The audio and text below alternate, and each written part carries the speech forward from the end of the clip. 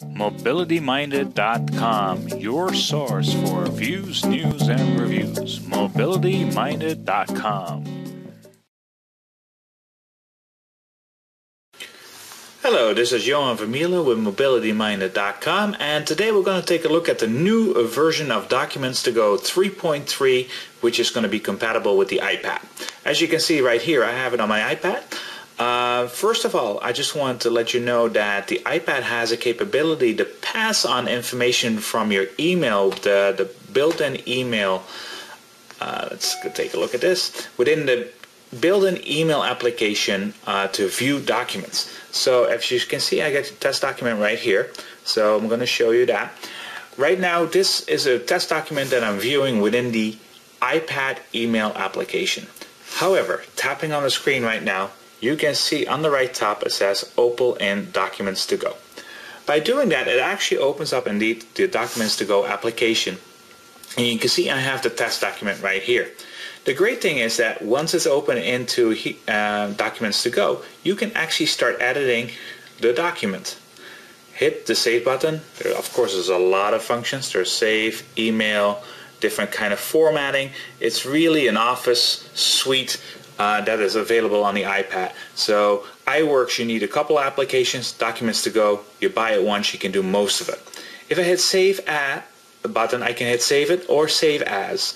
And the Save As button I like a lot because right now you can see I can store it in different locations. Right now it asks me to store uh, on the local files, which will be the iPad.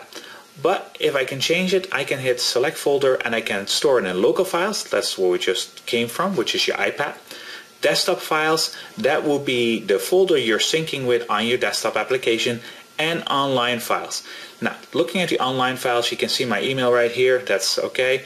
Uh, this is my Google Docs within my application right here.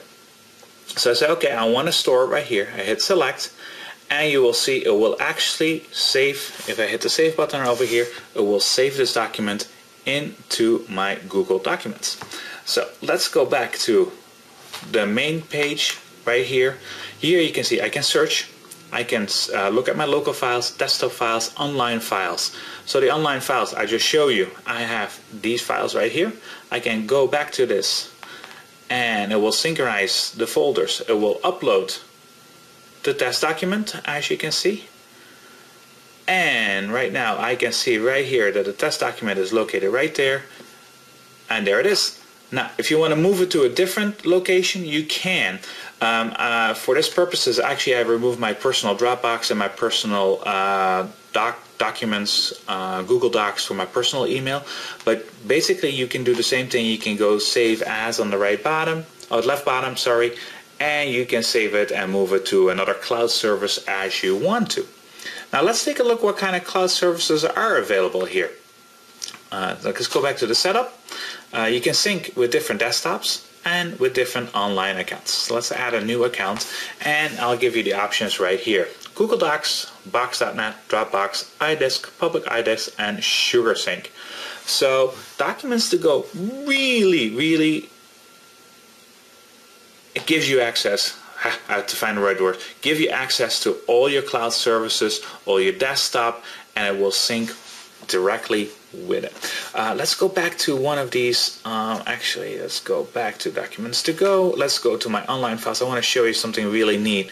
Uh, as you can see, you can see some of them are blue icons and gray icons. The gray icons means they're not here yet, and the blue icons means they're on the on the uh, on the iPad. I can actually just slide it and hit remove. It's not removing it from my documents in Google, but it will remove it from the iPad. So you can actually store things directly online uh, and bring it on the road if you don't have Wi-Fi access and still be able to work with those documents. But you got to bring them in first um, onto your iPad by syncing the right uh, documents. So if I want to go back to that one right here, if I tap on it, you will see it actually will downloading that document and now it's in a blue icon again. So that's really great. The last thing I want to show you is what about new documents? It's great. Just open up on the right top. You have a little plus and as you can see you get the options for Word MSX, Excel document, and a PowerPoint, or email with an attachment. Now, let's take a look really quick at the PowerPoint. As you can see, you can have a casual, corporate, or simple. Or if you go with email attachments, again, you click on the bottom and it says add file.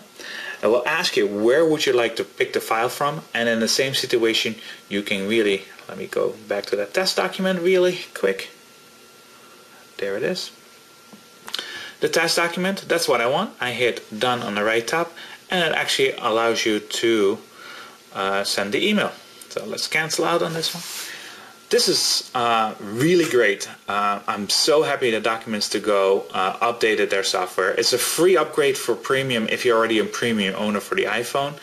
Um, the iPhone setup is a little different. It doesn't let you do the email directly access to Documents to Go, so you kind of have to set up your email exchange and Gmail in here.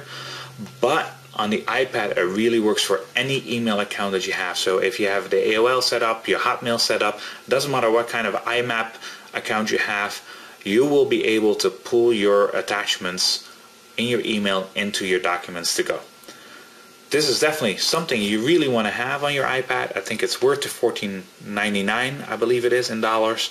So get out there, go get Documents to Go Premium for your uh, uh, iPad. There we go. This was Johan Vermeulen, Mobility Minded, and thank you so much. Till next time.